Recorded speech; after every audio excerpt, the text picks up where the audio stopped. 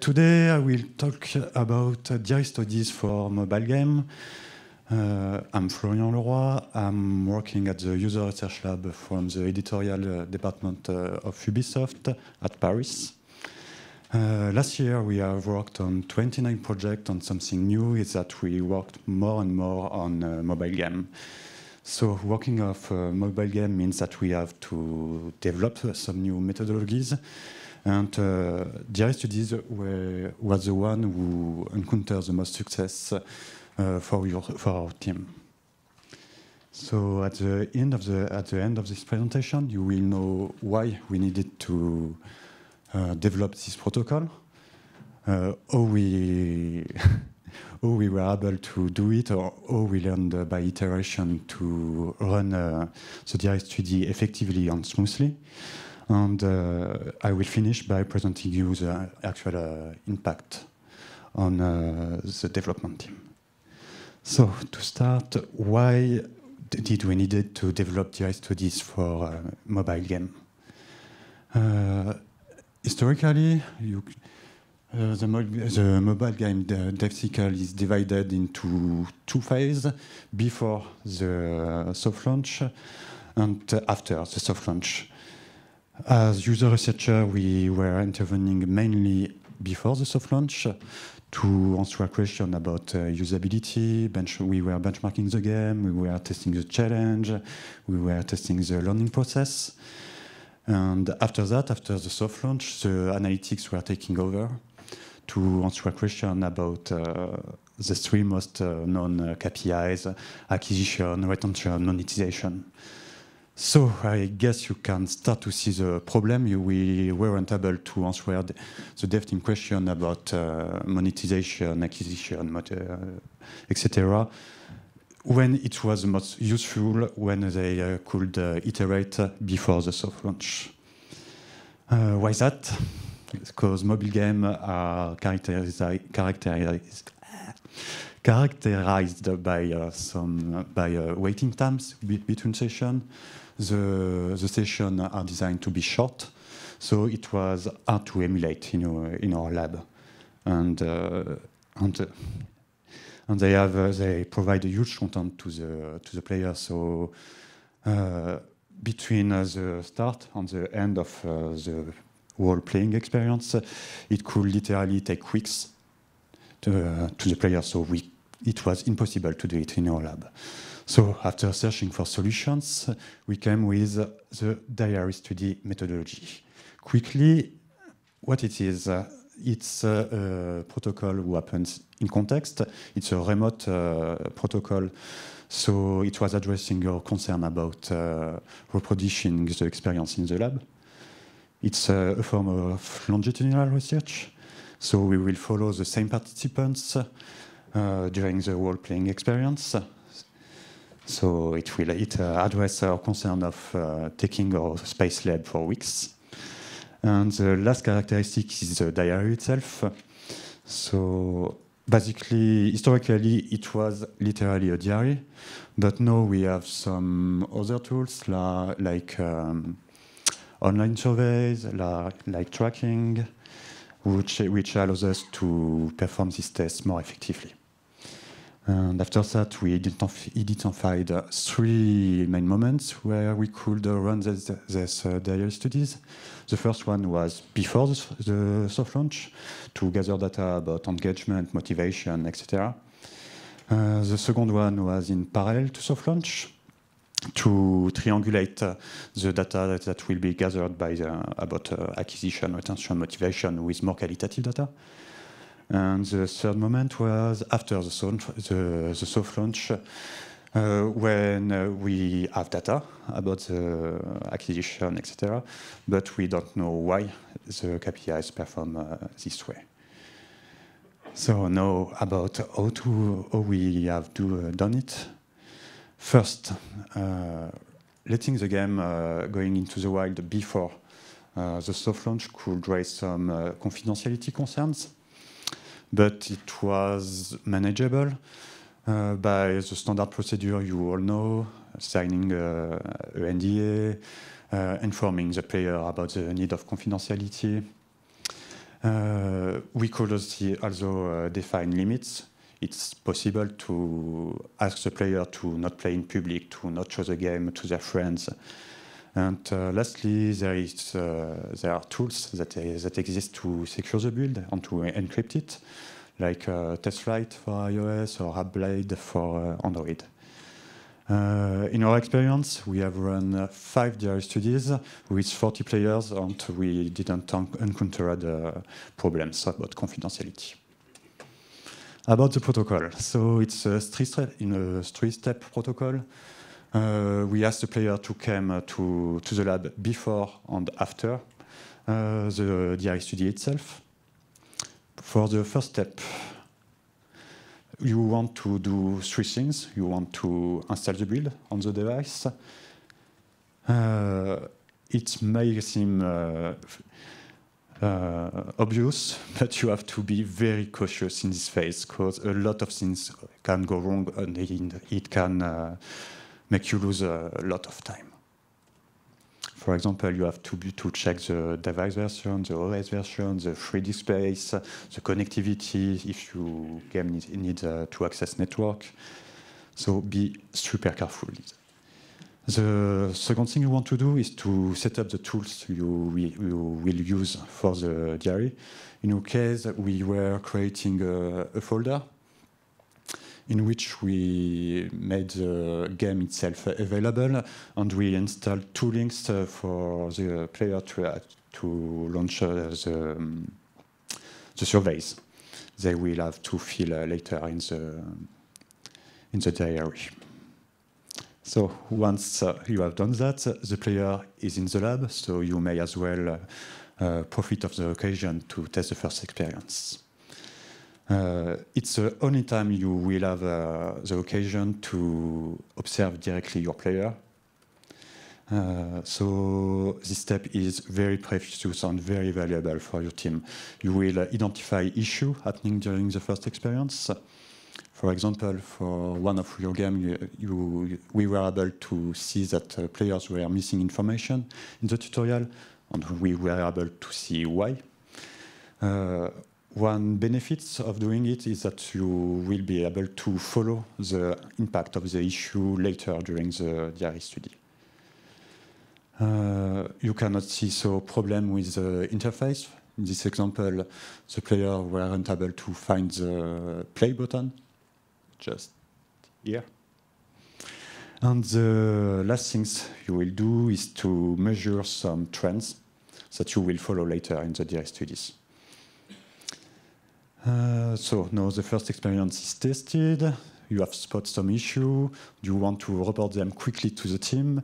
But before that, you have to train the player because uh, the diary protocol can be hard to follow by the player.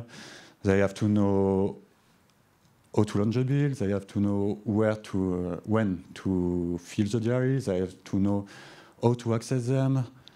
So you have tested the, the, first experience. At the end of the first experience test, we ask the player to do exactly what they will do during the diary. The second thing you want to do is to train them to act in case of a problem, because the game is in development, so technical issues are probable. Uh, and you will train them to, to contact you or to do some procedure to repair the game. Uh, you're done with the first with uh, the first step. Uh, you, as a takeaway, remind that you want to invite the player in your lab for the for the setup phase. It's uh, only occasion to observe issues directly. It will uh, produce uh, quick wins for the dev team quickly, and you will train the player to the protocol.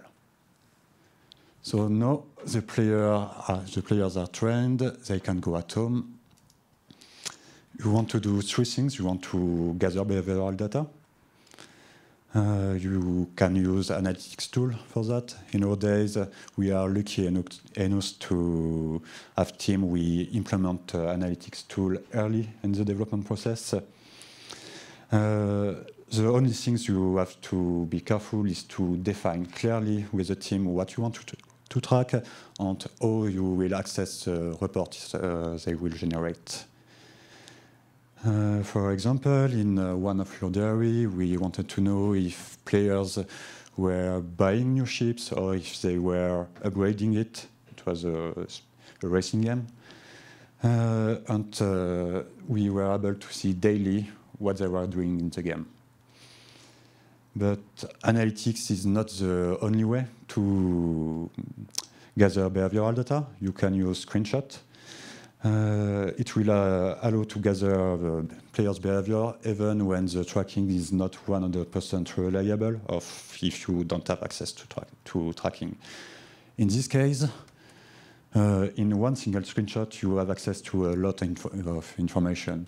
You can see how many lumps or how many money the player have in a certain uh, in a specific moment. You can see how far the player has progressed in the game, and you can see how many special levels he has completed. Uh, this type of screenshot allowed us to generate this kind of uh, graphics in this case, it's uh, in a racing game.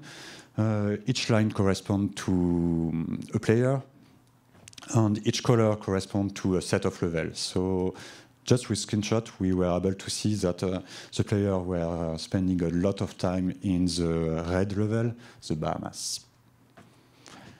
So you have uh, behavioral data, but you want to, you also want to gather data about the perception of uh, players of the game. So the obvious method is surveys. Uh, the tip I can give you is to make sure that your uh, survey is, compat is, compatible with, uh, the, with mobile. And about the surveys itself, we like to do two, two types of survey. Uh, one is a mandatory daily survey, in which we, you will ask some close question, ratings, type of things. You will ask them what they like, what they dislike, and why. The second type of uh, survey is uh, what we call the quick feedback. It allows the player to take uh, quick notes if something uh, memorable happens. And we were asking them uh, especially to note what was frustrating now. Uh, this is a type of graph we could uh, generate with uh, the surveys. So you can see that we were able to track the evolution of some KPIs about engagement. But so you have gather, you have a way to gather behavioral, behavioral data, to gather perception data, but it won't be that useful if the players don't play the game or if the player don't um, fill the surveys. So you want to ensure that they will participate. Uh, to do that, we had uh, three main ways. We, will, we were uh, giving a, a, reward to players, uh, which are, was tied to their participation. We were basically we were giving uh, them twenty dollars for each, each, day if they uh, played the game and if they filled the survey. The second thing you want to do is to monitor the player activity. So you want to allocate some time each day, something like one hour, to verify if they have launched a game or if they have filled the survey, and to verify if it's due to a technical problem. And if you spot a problem, you want to have a channel of contact defined in both ways. So you want to contact them if uh, you see that they don't uh, launch a game, and you want them to be able to contact you if they encounter a problem. There is many ways to do that: uh, mail, uh, text, uh, even uh, even phone calls. So done. You can go to the last step. so for the second phase, look, my tips: incentivize the participation, plan for monitoring. Don't rely exclusively on uh, tracking for uh, behavior data. And keep your survey short and accessible. It will uh, allow the player to participate. So last step, you have a lot of data. You want your player to come back to the lab for three reasons. You want, for, mainly for one reason, you want to perform an interview. Uh, but before that, you want to analyze your data. What we were doing, we were identify, identifying global trends. So you want to formula, formulate some uh, hypotheses with uh, the data you have gathered. You, to determine uh, interview, interview questions, you will ask to the participants thanks to, thanks to this uh, hypothesis. You also want to identify uh, some uh, outliers data, some specific things that happen to one player, and you want to explicit uh, during the interview. In this example, uh, the player has reported that he was uh, extremely frustrated uh, three times during the, during the diary, and he didn't explain why, why. So you want to ask him during the interview what happened. So when you have analyzed the data, you have your question. You so my only tips to help to conduct the interview is to remember that uh, that uh, a lot of time could have passed uh, since, uh, for example, for the frustrating for the guy who was frustrated frustrated at some points. Uh, it was on day two, two of the diary study. 10 days has, uh, has, passed, so you want to help him to remember what happened. To do that, you can show him some uh, data, some, some entries he, he filled in the survey. You can show him what he was doing this day, what he was doing just before, what he was doing just, before, just after. It will help him to remember and the last things you want to do in this step is to clean the player device of the build, the surveys you installed, so you are sure that the confidentiality is kept. So as a takeaway for this step, remember that you want the player to come back at the lab. It will be the only occasion for you to make them uh, explain what they, uh, their entries. It will help you to investigate the trends you identified during uh, the analysis, and you will uh, clean the player's device. So, which impact did it, uh, did it have effectively on the team? If you remember, our goal was to gather data about retention, about motivation before the soft launch. So this goal was met. For example, for um, for Speedboat Paradise, if you remember this example, we identified that uh, some players were stuck in the in the first few levels. We were able to see that it has uh, it was correlate, correlated. It was okay. Doesn't work anymore.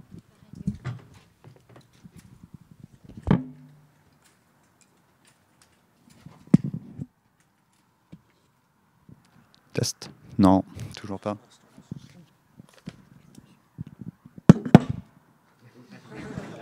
Looks. Does it work? Yes? Okay. So, so we looked also of, uh, at our retention KPI, and we saw that uh, the, their likelihood to continue, they reported, they reported that their likelihood to continue to play was uh, dropping after the first day. And during the interview, we asked, we asked them a question. And we were able to identify the causes. Uh, basically, there was two set of objectives that were not uh, that were that were very difficult to achieve. The first one was uh, due to um, to uh, controls problem. So they weren't able to perform a certain type of stunts. And the second one was um, due to a lack of money. Uh, their bot wasn't uh, performant enough to to reach uh, the objective. So the dev team were able to act on this problem. They triggered, they triggered the reward. They triggered the control. And the, after that, we, during the soft launch, the problem of players being stuck uh, weren't uh, existing anymore. One other things we were able to show to the team was on monetization actually. So in this example, there was a few features that was uh, heavily monetized. It was uh, fun and uh, lifestyle, which are which were identified as as the least motivating features. Uh, it was confirmed by behavioral data. I won't explain you exactly how to read this, but uh, basically it shows that uh, the player don't use that these features. And uh, during the interview, we were able to see why they were uh, they weren't using these features. Uh, they didn't see how, how it impacted their, their gameplay. in one case, there were no there were no link between the feature and the gameplay. In the other case, uh, the player didn't understood it. So to conclude, the, their study allowed to the dev team to take an informed decision sooner in the development process. Uh, we, for um, for um, indicators that weren't uh, easily uh, testable uh, in the lab. and as a, take, as a last things to conclude this presentation, we I focused uh, mainly on uh, mobile game for uh, this presentation, but there is no reason to not reproduce this protocol for other other type of games, like multiplayer games, which are also very hard to, which uh, playing conditions are hard to emulate in the lab too, or games with uh, huge content uh, like systemic games or and so on. Thank you.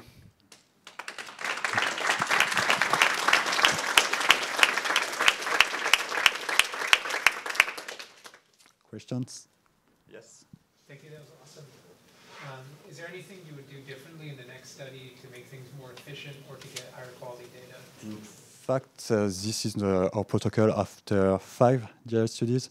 So this is the best solution we came with uh, after this uh, five uh, diary.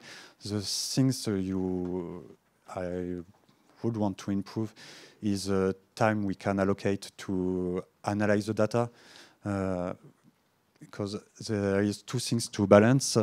The time you uh, you want to spend during the, di the diary. You don't want to be uh, involved uh, full time because it will make the, the price for the team skyrocket. But it's very important to have a, very structured analysis guide defined at the beginning to be able to produce the question for the interview quickly. And uh, in my experience, uh, we didn't have enough time during the preparation to make a, a very well structured analysis guide. So my tips will be to uh, to really, really prepare it uh, well in advance. yes. I'm interested in uh, the choice between playing, paying players every day that they continue to play, or paying them a flat fee for participation, and they can okay. choose whether to drop out or not. Yeah. why you chose one of those over the other? Uh, basically, it's because of our goal to generate useful data. If the players are drop, are choosing to stop playing because they, in all case of, of, the case of players stuck in the same level, um, 100% sure that some would have quit the game at this moment. Uh, we were able to see that there was a problem, but if they uh, had dropped, we wouldn't have been, we wouldn't have seen the problem which uh, happened after this uh, this set. So the the goal is not to quantify how many players will drop the game. You want to quantify want to see if there is a chance for them to drop the game and you want to have uh, data on the uh, on the part of the game that are late that are happening later in the process. So it's the reason we choose this way. Yes. I'm quite curious. How long do these studies run, and how did you figure out how many participants to use per study? Uh, it depends of uh, the content available. If it's soon in the, the development process, uh, it can. The shortest the shortest one we have done is five days with a full weekend between the first day of play and the last day of play, and uh, we try to not go over 15 days because uh, generally team need uh, to have results quickly. And for participants, uh, it's a qualitative method, but we try to measure some things. So it depends also of uh, the difficulty to recruit the participants that are um, fit for this uh, study. So the less we did was uh, eight, and we tried to target 20, uh, 15 to 20 players.